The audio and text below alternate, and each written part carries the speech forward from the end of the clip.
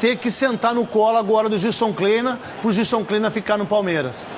Olha, eu não dou parabéns ao time do Palmeiras porque o Palmeiras não fez mais do que a ah, obrigação. Ah, mas por que é, não? Não, não, não dou porque é ridículo um time como o Palmeiras. Mas não é ridículo né? o Corinthians estar na eu situação sei, que está, o Flamengo... Mas duas vezes é demais, Neto. Não, duas não, aí é outra coisa. Uma mas vez, os jogadores é não têm culpas que estão é, lá. O torcedor do Palmeiras, ah. é, ele não está feliz da vida, porque, ah, nós somos campeão da Série B. Olha, isso é uma vergonha para o time do Palmeiras cair duas mas vezes para a Série B. Mas não tira os méritos dos jogadores que se esforçaram não, não, durante o campeonato todo. Eu não estou tirando do mérito. Não, você está. É, não, é, não, parabéns eu não dou. O Palmeiras não fez mais do que obrigação. E o Santos na Série A? E o Internacional na Série A?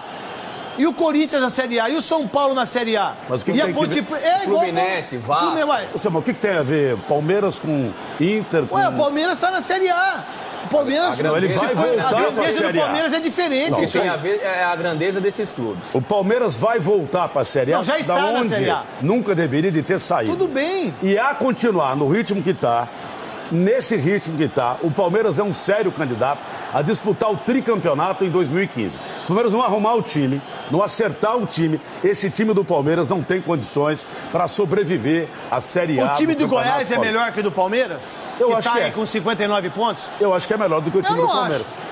Eu não acho. Eu acho que é melhor do que o time do Palmeiras. Você acha, Denilson? Agora, só para concluir, posso concluir não, se com você relação... for muito longo, você não vai concluir, não. Não, é que às vezes a gente precisa né, andar um pouco mais para você chegar à sua conclusão. Né? Você, vai, você vai estreitando a sua ideia. É. Gilson Kleina, é, ele não é, então, a bola da vez. Ele não foi a bola da vez. Não. Ele trabalhou o ano inteiro, né, lutou com o time, sobreviveu com o time, não veio com um super time, um time razoável, não era gente que estava jogando no outro time, não era titular ninguém de Corinthians, de São Paulo, que veio jogar no time do Palmeiras. Isso foi o mérito do seu Gilson Kleina. E aí a diretoria procura o seu Bielsa, procura não sei quem e agora vem conversar com o Kleina. Olha, você aceita ou não? Se eu fosse o Kleina, eu não ficaria. E falo mais uma coisa: se ele perder duas partidas no ano que vem, vai ser detonado. A minha opinião é o seguinte: se eu sou o Gilson Kleina, eu não fico no Palmeiras eu vou para casa, consegui um objetivo. Tá aqui a camisa do Palmeiras, campeão da Copa do Brasil.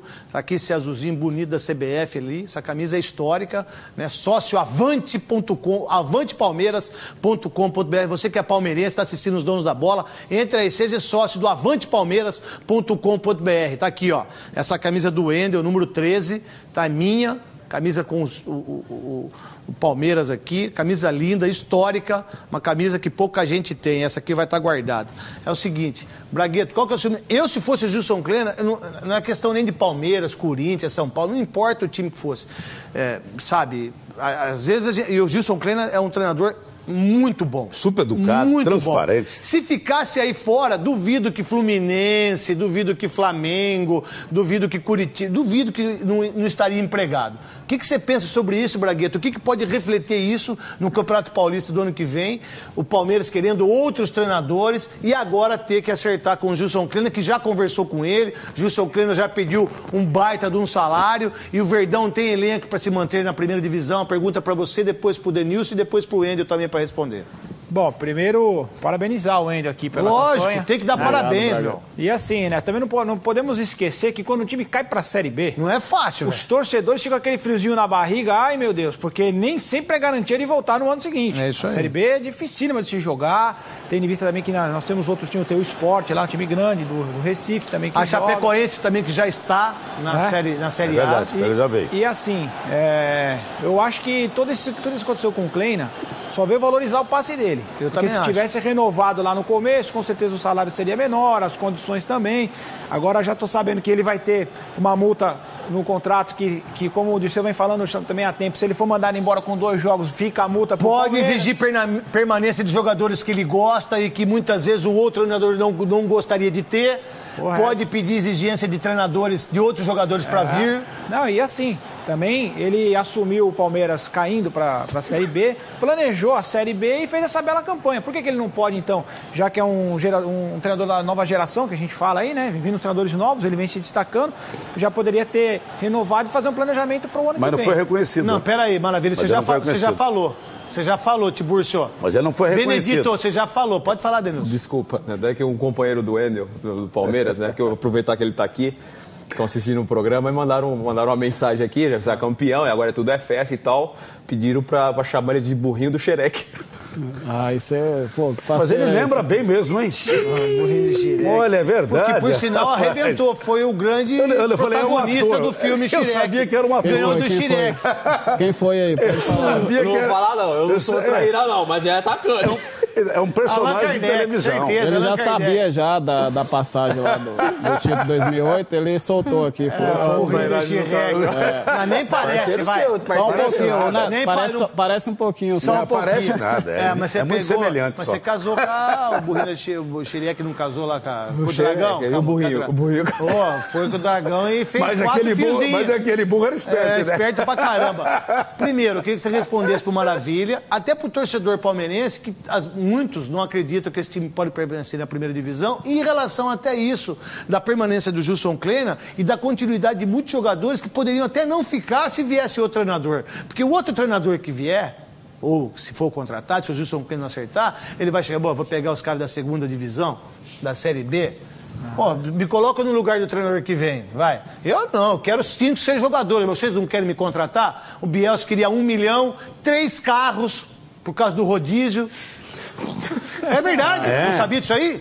E o Kleina... Tô te falando, no contrato dele, ele pediu um milhão de reais, um milhão de reais e três carros por causa do rodízio em São Paulo. Um pra família e, É, e aí o outro por- fica. É, pediu tre... olha só que absurdo. E aí Já você pra tem um não treino. querer mesmo. É, sabe, já, já tá. colo- E aí eu queria perguntar, o que, que você acha disso e aonde o Palmeiras vai chegar? Você concorda com Maravilha, Gilson Kleina, vocês jogadores, o que, que vocês pensam sobre isso? Porque o objetivo foi alcançado já.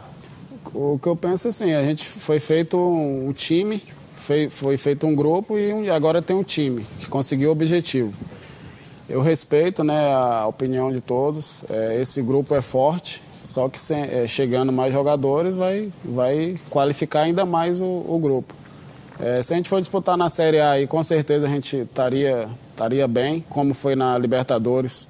O grupo foi bem, passou para a próxima fase. Ninguém falava do Palmeiras, ninguém apostava no Palmeiras. Só em São Paulo, Atlético Mineiro e tal. E o Palmeiras passou da primeira fase, fez uma grande campanha. Então, lógico que se chegando mais jogador, vai somar, vai qualificar o, o grupo e eu, eu tenho confiança aí no- nos meus companheiros, no trabalho do, do- do treinador. De todo o Palmeiras é, é forte e lógico que vai fortalecer mais chegando mais gente. Pode Olha, falar, tô- Gil, pode falar, Olha, só mais um detalhe.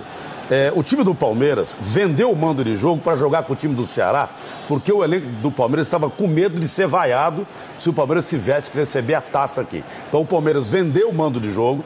O jogo vai ser em Campo Grande e vai jogar com o Ceará.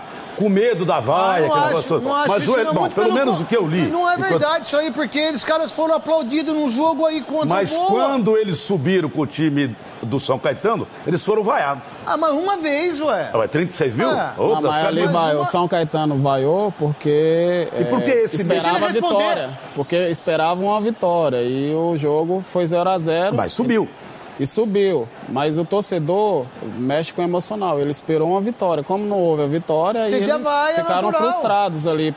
Mas a gente conseguiu o objetivo. Mas só vaiou mesmo porque não, não, não venceu. É o seguinte, mostra de novo a camisa do Palmeiras aqui. Você tá. Você, você E não depois, gosta ah, ô Neto, também é importante é, até elogiar aí a postura da, da torcida, que depois que acabou o jogo, a torcida vibrou, é, é, aplaudiu Com o time, título. Gritou ali, né? Todo mundo, a gente saudou ali a torcida. É, foi feita uma placa ali da, Não, os da caras falaram, diretoria do os marketing. caras falaram que não ia gritar bicampeão e gritou, e é Foi campeão, feita meu uma, uma placa lá que a gente agradeceu a torcida e, e a torcida também vibrou ali e aplaudiu o time, sim. É o seguinte, ó, vamos falar do Corinthians agora aqui. Coloca o símbolo do Corinthians aqui pra mim, por favor. Latino, vamos lá. Estamos com o Bragueto aqui pra falar sobre os lances de arbitragem.